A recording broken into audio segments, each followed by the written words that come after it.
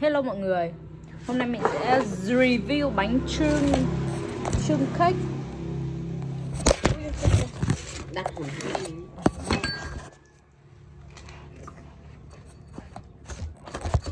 hẳn Bánh trưng Bánh trưng gù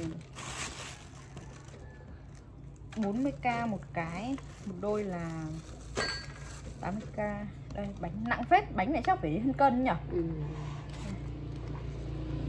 Màu, màu xanh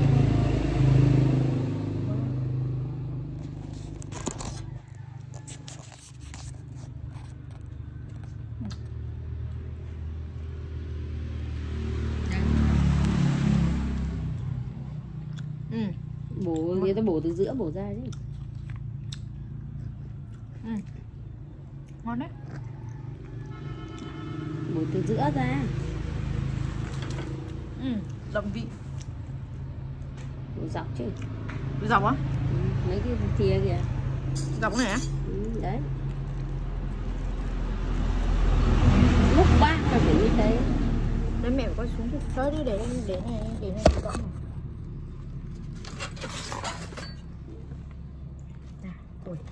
đấy đẩy hai bên ra. À, wow Thấy không? Ờ đây thấy không? Ngon phết Đi đây, đi đây. Múc ba cùng nhau đi.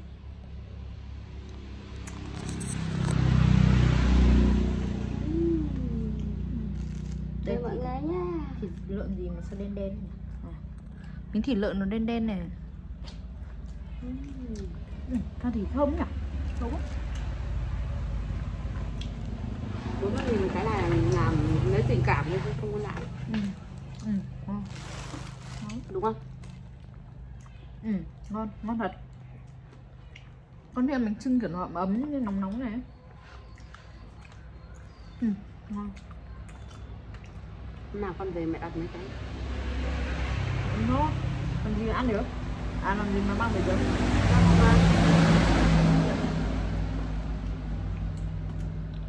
ừ.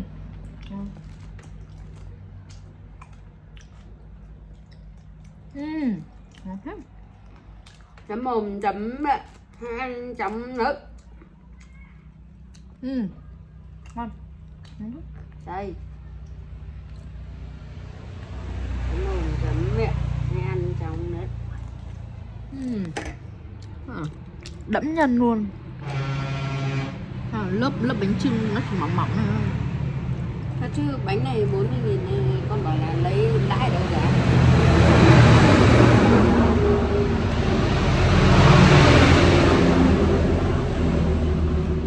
Lại mỗi tí tình cảm thôi. Đúng không? Ừ. Ừ. đồ bánh trưng tròn nồi áp suất luôn nữa Không.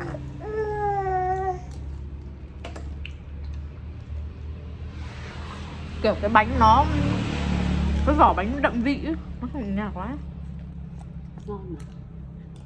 cái nhân này nó ướp cũng đậm vị thôi.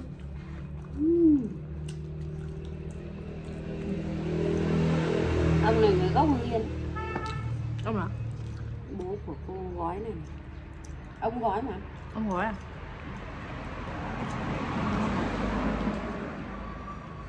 ừ. Ừ. miếng thịt của nó này, trông Đấy, sớ thịt này, trông nhìn đã biết thịt ngon rồi. Ăn cái vị thịt của nó cũng khác cơ. Ừ. tắt đi. Ăn thử long. Tắt cho bye bye